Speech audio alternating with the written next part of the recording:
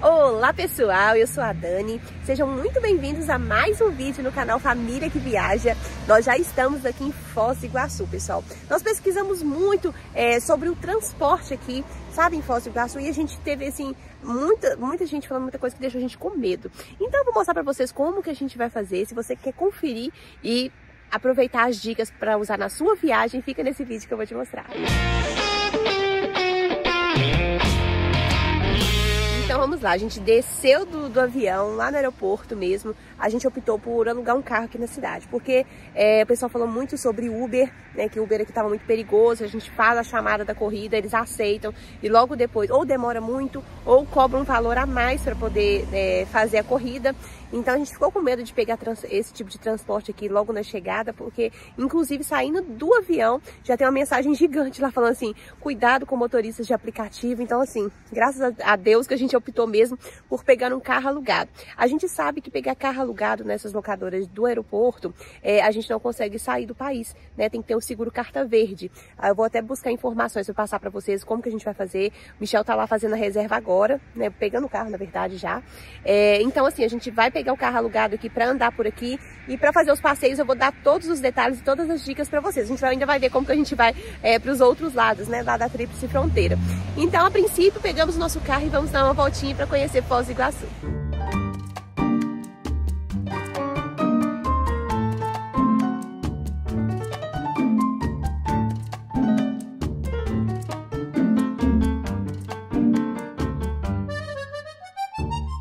Pessoal, veio pra gente um HB20, olha que legal. Carro um pouquinho menorzinho, né? Mas pra gente que tá só de dois, acho que tá ótimo. Bora curtir a cidade então, vamos lá. Olha lá, pessoal, com esse ponto cheio ali é o Paraguai. E hoje nós vamos mostrar um pouquinho da tríplice fronteira, pessoal. Brasil, Paraguai e Argentina. A gente vai mostrar um pouquinho aqui dos detalhes, dos lugares, né? E todas as dicas.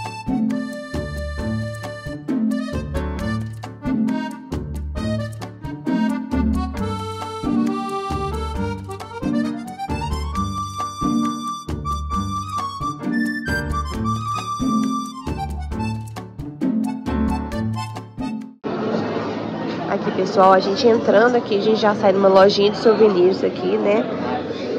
Do marco mesmo das Três Fronteiras. Vamos olhar as coisas.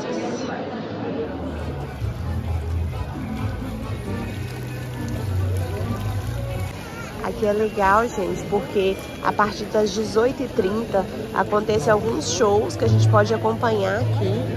Então tem vários atrativos, Aqui você pode ver também que tem é, alguns tipos de comida, cachorro quente, tem crepe, tem espetinho. Então, tem muita coisa legal. Aqui é o marco das três fronteiras do lado do Brasil. Ali do outro lado a gente tem o marco das três fronteiras da Argentina e do outro lado do rio, do lado de lá, a gente tem o Marco das Três Fronteiras do Paraguai. Então aqui a gente tem a, os três países aqui numa mesma imagem, olha que top. Então, gente, aqui é um ponto turístico, por quê? Porque é a fronteira, é a fronteira, né? A fronteira entre Brasil, Paraguai e Argentina. Então aqui você consegue ver os três países daqui desse mirante, né? E para acessar esse mirante você paga um valor, uma taxa de 45 reais, mais 3 reais que é uma taxa adicional, aí fica no total de 48. Nesse mirante também é possível ver o rio Iguaçu com o rio Paraná se encontrando, então é uma visão muito bonita, é um mirante muito legal que você consegue ver o encontro dos rios. Ponto também você vai poder acompanhar várias apresentações de dança, apresentações culturais a partir das 18h30. Acho que é de, de terça a domingo, né, Michel? De terça a domingo você consegue acompanhar. Daqui a pouquinho deve estar passando aqui. É muito legal você vir nesse, nesse não é do pôr do sol, no fim de tarde, que aí além de você é, conseguir tirar fotos e tudo mais, você tem alguns shows. É, aqui também tem uma gastronomia legal, barraquinhas e tudo, então você consegue acompanhar tudo isso. Porque eu vou mostrar para vocês o encontro. Esse rio aqui é o Rio Iguaçu, que você consegue ver do mirante, e o maior é o Rio Paraná. Então então eles se encontram aqui nessa região.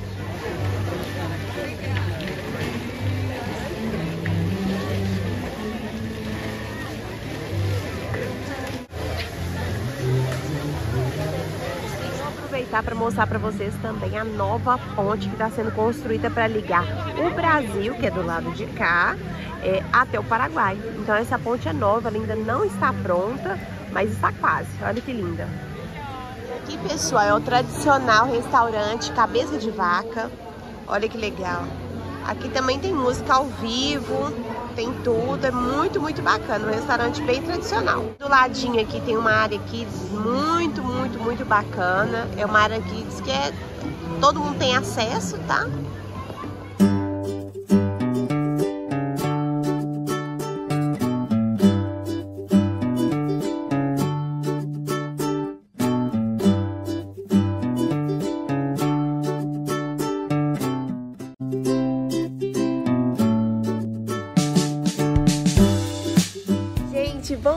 Dia. Olha, hoje o nosso dia é de compras no Paraguai. Então, o tempo não tá assim muito ajudando a gente, não já choveu, a gente tá saindo um pouquinho mais tarde porque a gente teve que esperar a chuva passar. Mas nós vamos mostrar nosso dia de compras. Então, só explicando para vocês, para é, as pessoas que estão hospedadas em hotel, a gente até olhou no nosso hotel, é, o transporte para o Paraguai fica em torno de 80 reais por pessoa, uma van 27 minutos daqui. Aí, ó. É. Aí, ó, a distância do nosso hotel lá para a Ponte da Amizade, 27 minutos, tá? Mas eu tava falando do transporte, 80 reais por pessoa, é uma van que leva, aí tem um, um determinado horário, normalmente sai às 7h20 da manhã, né, Michel?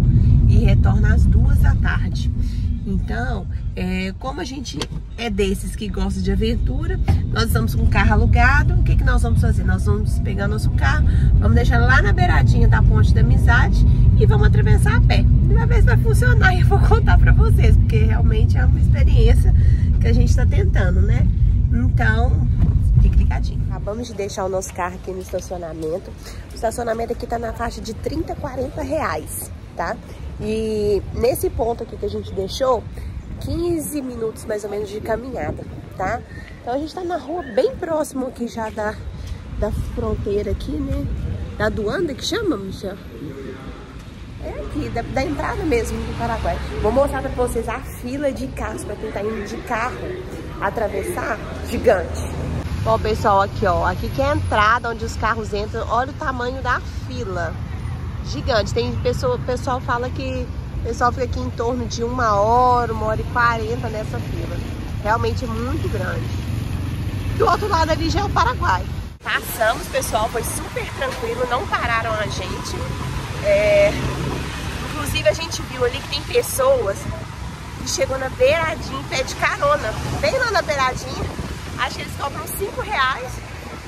Mas ah, gente, aqui é, é um quilômetrozinho de caminhada é tranquilo. Chegamos do Paraguai. Coca-Cola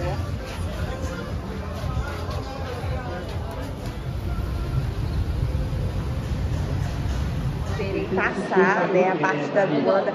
Olha, a gente tem, são, são duas, dois controles de imigração. Tem o do lado brasileiro, que foi o que eu mostrei, e tem o do lado paraguaio também. Então, o pessoal aqui chegando, então a gente passa duas vezes pelo controle alfandegário, é o controle de imigração. E aí, é, a gente entra aqui meio que é um estilo 25 de março de São Paulo. Então eu, eu meio que senti isso. Assim, tem muita feirinha, muita coisa baratinha. E tem os shoppings tradicionais, que tem, tem as coisas para poder comprar eletrônico, essas coisas. Então eles indicam é, o shopping Paris, é, o shopping, o Cell Shopping. E a gente está em shopping aqui também. Eu vou mostrar pra vocês algumas coisas durante o nosso dia. Chegamos no Shopping Paris, né, Michel? Foi uma das indicações. Aqui é, que é shopping shopping. É, que é shopping Eu, eu não tô acreditando que aqui as coisas sejam mais baratas que na rua, não. Na rua, na Muvuca, eu acho que é mais barato. É, lógico que você vai comprar eletrônico na, na rua, né, gente? Na rua não. Mas, assim, é, na rua é meio que 25 de março, né? Você vai comprar aquelas bugigangas, aquelas coisas de brinquedinho de criança, esses trem. Aqui não, aqui para você comprar eletrônico, para você comprar coisas mais caras ou coisas que não podem ser falsificadas, aí você vai por aqui que eu acho que é a melhor opção. Mas tô gostando bastante aqui. O Michel diz, Michel, não vai voltar em São Paulo mais não, né, Michel? Nunca mais. Eu vou É. pro Paraguai toda semana. Inclusive, pessoal, a gente achou aqui iPhone iPhone preço é mais barato é, que- é mais que barato nos nos Estados Unidos por conta do, do- da taxa, né? E nós achamos o iPhone mais barato. Ah, não tô acreditando muito nesse trem de taxa, não. Preciso pesquisar.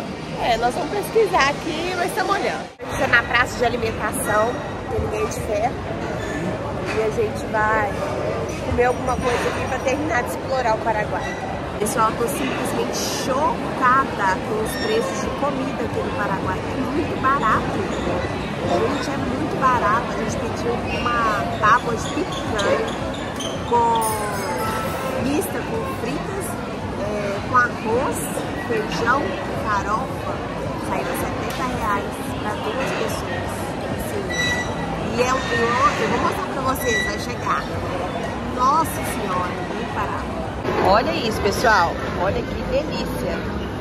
Metade picanha, metade batata. Olha que delícia. Isso, gente. Vamos lá.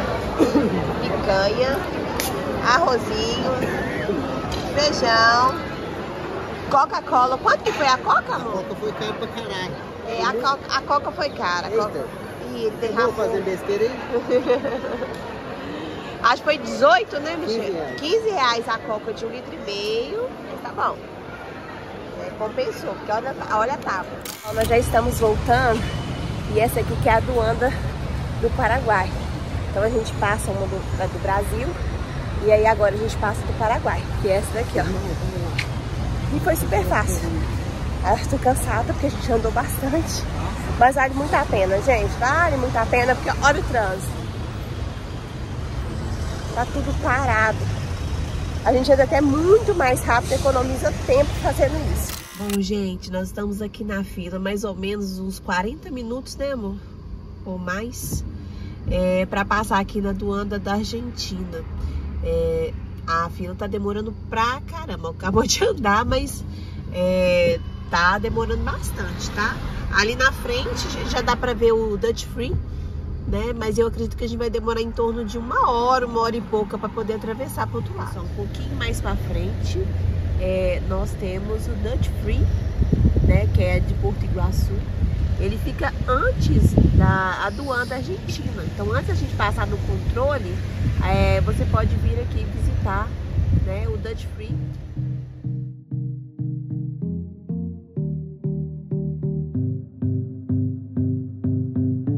Depois de não sei quantas horas, chegamos aqui no controle migratório da Argentina, gente. Aqui, gente, aqui já é o controle migratório, tá vendo? Ali na frente. Então demorou umas boas horinhas para chegar aqui, misericórdia. Só essa área aqui da feirinha é a área dos restaurantes. Então tem vários restaurantes por aqui. E passando por lá, pro lado de lá, a gente tem as lojinhas. Aí as lojinhas é onde a gente compra. é, A gente compra vinhos, doce de leite, alfajor, é, queijos, azeitona.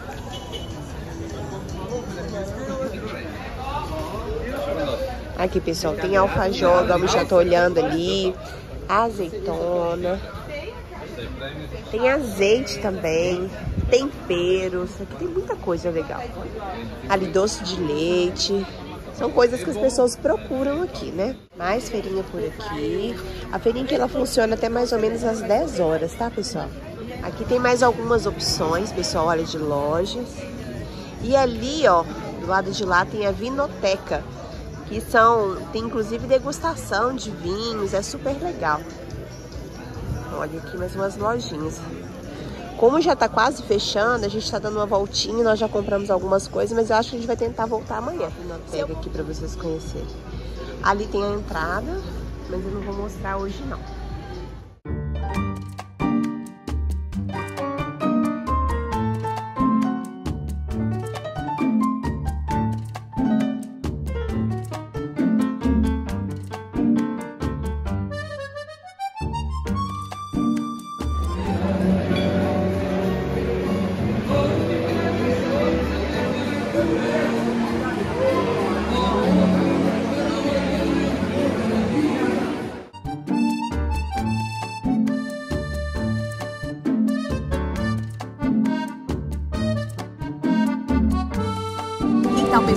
Acabou de fazer o nosso pedido, tô falando mais pertinho aqui porque o barulho tá muito alto aqui e a gente acabou esquecendo o microfone dentro do carro. Então, para não voltar, eu vou falar assim mesmo.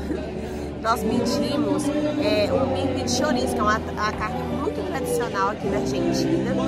É, aqui os pratos são à la carte, então a gente escolhe, os acompanhamentos é, são separados também. Então a gente pediu essa opção de carne, pedimos de acompanhamento mandioca e arroz. Vou mostrar para vocês.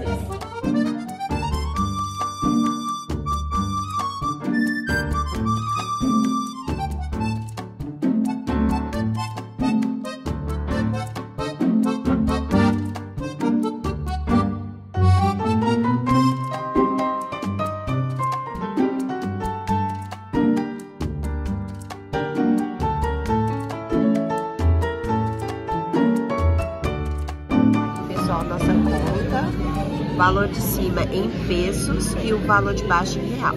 Nós aproveitamos a oportunidade também para conhecer o cassino lá da Argentina, pessoal. E a gente filmou um pouquinho escondidinho, porque o pessoal não gosta muito que filma lá dentro. Mas é, eu queria mostrar um pouquinho para vocês. E ao contrário de Las Vegas, você pode brincar nas máquinas pagando em real. Tem algumas opções em real e foi bem legal pessoal, nós já estamos aqui no pôr do sol, inclusive está bem lindo do outro lado. É, e a gente veio aqui visitar a Mesquita, né, gente? Como a gente veio direto de um outro passeio, a gente não vai conseguir entrar hoje, está um pouquinho tarde. Mas eu quis passar aqui para mostrar para vocês que é uma excelente opção para quem quer vir visitar a Mesquita. Tá? E logo que em frente aqui a mesquita tem vários doces árabes, né, que você pode conhecer é, artesanato também, várias coisas legais. Então vale a pena colocar no seu roteiro de viagem, vai ser muito bacana.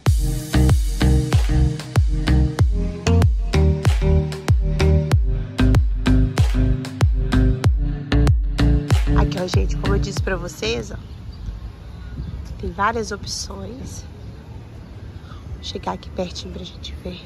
Ah, já tá fechada agora, tá vendo? Pelo horário. Tá fechada. Mas é bem em frente aqui, ó. A loja tá aqui e a mesquita ali. Mas tem uma outra ali embaixo que eu vou ver se ela ainda tá aberta. Nós vamos lá agora. Olha que lindo esse pôr do sol. Olha que legal, gente. Aqui tem o Caminhos da Síria. Olha que bacana. Aí tem algumas opções de comida mesmo da Síria, na culinária árabe. Olha que legal. Logo aqui abaixo também tem algumas opções aqui, uma doceria árabe. Olha que legal, gente. Mas eu também acho que já está fechando. E é claro que a gente não podia deixar de experimentar os doces árabes, né, pessoal? É, lá é vendido no quilo, tá? São realmente várias opções de doces árabes, realmente deliciosos. O preço é um pouquinho salgado, tá? Mas por conta de ser em frente à mesquita, mas eu acho que vale muito a pena conferir. E nós vamos agora experimentar os nossos docinhos que a gente acabou de comprar. E eu vou finalizando meu vídeo por aqui. Então, se você gostou do nosso vídeo, deixe seu like, se inscreva no canal e fiquem ligadinhos porque ainda tem mais vídeo de Foz do Iguaçu. E até o próximo vídeo. Tchau, tchau! Bye.